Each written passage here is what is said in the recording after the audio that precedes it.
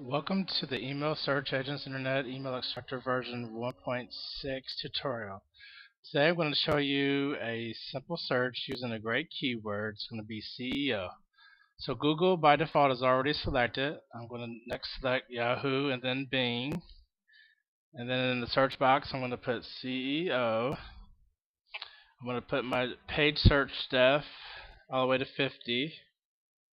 I'm not going to do deep search right now because deep search will take some time. I'll do that in a later, a much later tutorial. But for now, to show you CEO at 50 search stuff. So I hit the search search for button. Now, as you can see, it's gathering the emails. It's found over 50 in quite a few, in just a couple of seconds.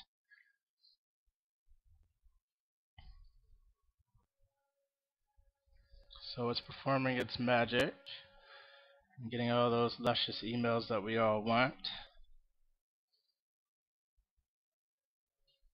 This is great if you're targeting leaders of organizations and you want to get the word out about your product, service, or any email marketing that you're doing in general.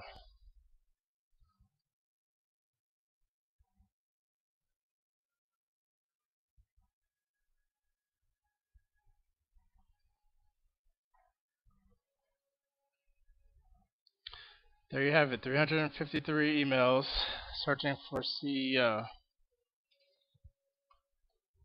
Now all I have to do is hit the export results button and bam, I have the results. I can do with them whatever I wish. I can put them into an email program. I can clean this list if I see duplicates, which shouldn't be there because it already takes out the duplicates. But if I see anything questionable, I might want to take it out. And there you have it, today's tutorial for CEO using Email Search Agents Internet Email Extractor. Hope you've enjoyed today's tutorial, and I look forward to seeing you next time.